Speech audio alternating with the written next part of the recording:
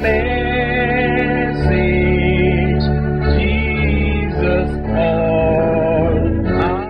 Good afternoon, everybody.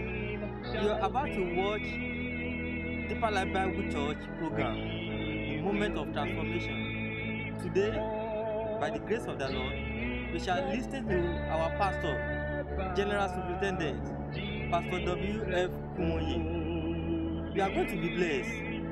It is my wish that you call your family to come and listen to you as our pastor is blessing you with his holiness message. Remain blessed. of the Lord Jesus Christ. Before I come to the text today, I'm reading Acts chapter 4. Acts chapter 4. We're looking at verse 13.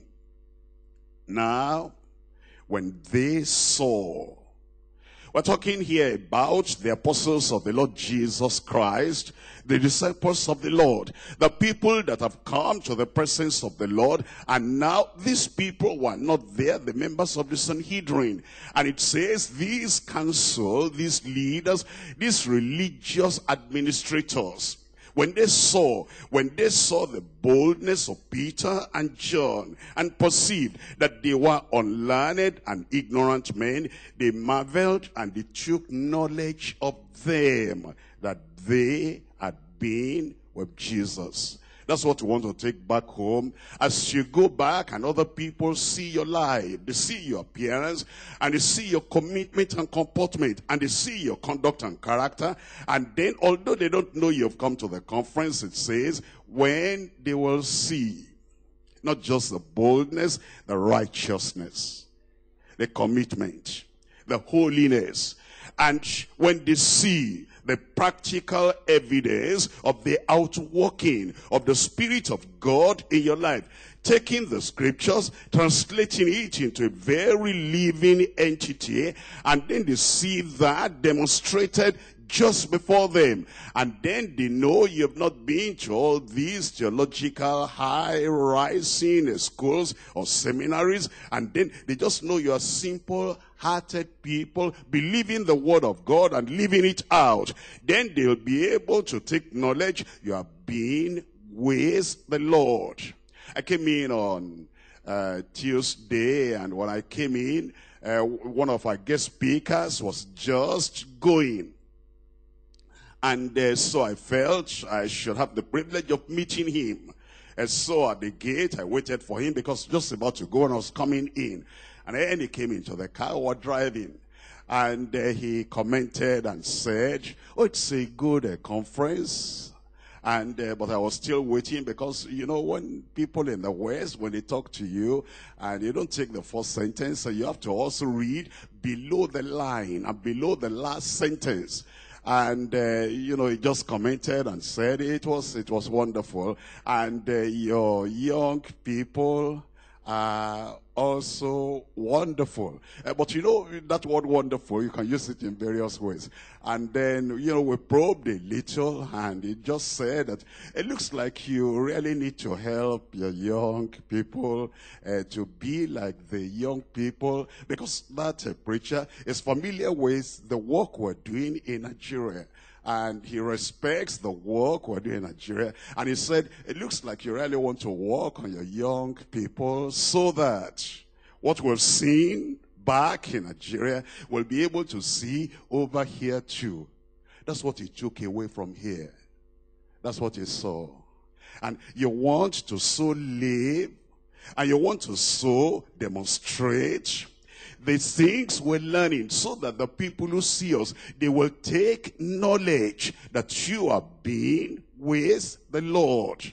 And that's why we're having this challenge and we're saying, as we go back to our various church locations, we don't just leave our children to, you know, children are children, but then Samuel was a child. And it was in the midst of a family, Ophni and Phinehas were there, and Ophni and Phinehas did not influence Samuel in a negative way. Samuel knew who he was. You, re you remember Jabez, remember Jeremiah? Those were children, and they were so taught. Do you remember Shadrach, Meshach, and Abednego? Their parents so taught them. And that when they got to Babylon, now Babylon, they took knowledge of those children, Shadrach, Meshach, and Abednego, that these ones have got a taste of the religion of their fathers. And then Daniel too, those were teenagers when they came to Babylon. And yet, because of what they saw of their lives, their parents must have been doing something to help those young people. Do you remember Timothy? Don't allow anybody to despise your youth. It was a young person. And yet what they saw in their lives showed very much that these had been of the Lord. And then we parents too, we adults, Moses was much of an adult. 80 years of age, that's, that's an adult. And Aaron, 83, that's an adult. And Miriam, older than both of them, that's an adult. And Pharaoh saw something about them. And so whether we're adults or we're youths or we're children, we have come to this conference. When we go back, let them see that we're being with the Lord. And we're going to start demonstrating that here uh, when we finish now the conference. After finishing the conference, the way we leave this holiday center, the people who are here should take knowledge that that was a Christian conference. You know, this place is, you know, a public domain. And other people also come here.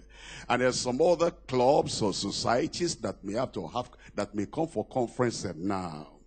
If, let's say the Muslims want to have a conference and they come here, and the Mormons want to have a conference and they come over here, and other people want to have a conference, they come over here, and Deeper Life wants to have a conference and they come here. The people who are here, they will, they will be able to see that was a Muslim conference, that was a Mormon conference, and that was another religious conference, and this is Deeper Life Conference. They should be able to tell from what they see, the workers who are here, the workers who are, you know, going around in the compound. And then those who are also in the cafeteria, they should be able to tell that one was different. And the difference is they had been with Christ. And apart from the conference people, those workers, me, I go to a lot of places. And I go to places that uh, I told you before, not deeper life, just a Pentecostal, uh, you know, conference. I'm invited to speak. And then I go to normal, you know, theological uh, seminaries and they invite me. They want me to share some things with them. And when I see them, and then I come to deeper life. And young people are there too in those other places. And I watch them, I see the things they do. I should be able to take knowledge that this is deeper life and that we are being with Christ. And so anytime I come, I want to see that we have been taught. And I want to see that the evidence of learning has been there. You can't blame me for wanting to see. I can't blame you too for wanting to see. That's why God gave us eyes and we're seeing. But when I, when I come next time, I pray, I believe I'll see something much, much better. May good amen. And so, and that's the reason we're here. We're not here for just to entertain ourselves. We're here so that we'll be able to say, here is what Christ demands. And he has the right. He's Lord, he's King, he's Master, he's King of kings and Lord of lords. He has a right to demand of the people he died for, of the people he shed his blood for, that this is the way to live. And so uh, when he talks like that, he says, I'm coming back. And when I come back, this is what I want to see. And these are the people I'll be taking back home. I pray you'll be ready at that time when he comes in Jesus' name. A good, good amen I need. Praise the Lord. Now we're talking about the final future supernatural change. It's a change. And it's going to be future change. And it's going to be a final change. It's going to be a supernatural change. We're looking at First Corinthians chapter 15. First Corinthians chapter 15 verse 51. Behold, I show you a mystery. We shall not all sleep, But we shall all be changed in a moment, in the twinkling of an eye, at the last trump. For the trumpet shall sound, and the dead shall be raised incorruptible. And we, tell me the rest, shall be changed. We shall be what? We shall be changed. Now look at this. Behold, I show you a mystery. What's a mystery? The mystery, the way the New Testament uses the word, is something hidden, something veiled, something covered, something you cannot see through, something you don't understand. And Paul the apostle said, behold, I show you a mystery, which means then, at the time it was a revelation for Paul, it was still a mystery for the Corinthians. And when he now said, I show you, by the time he showed them, it became a revelation. Listen, it was a mystery. It's revealed. It's unveiled. Is demonstrated and described and it becomes a revelation. If you look at Ephesians chapter 3, Ephesians chapter 3, I'm reading from verse 3. Look at the word revelation, look at the word mystery. Verse 3. How that by revelation he made known unto me the mystery. Can you see those two words there? It was a mystery. Nobody knew it. It was not clear. Nobody understood it, but now by revelation, he made it known unto me. Look at verse 4. It says, whereby when you read, ye may understand my knowledge in the mystery of Christ. You read it, you'll hear it, and then you understand it, it becomes a revelation for you, and you understand my knowledge in the mystery of Christ, which in other ages was not made known unto the sons of men. It was not made known. When it was not known, it was a mystery. But now it says, as it is now revealed. It's now a revelation. It was a mystery. But now it's revealed, so it's a revelation, revealed unto the holy apostles and the prophets by the Spirit. But I want to take you back to uh, the Bible, Bible history. God told Noah, and he said, get ready, there's a flood coming. That was revelation for Noah. It was a mystery for that generation. And Noah began to show them, to make known unto them that that was coming. But nobody believed, nobody accepted. It was still a mystery for them.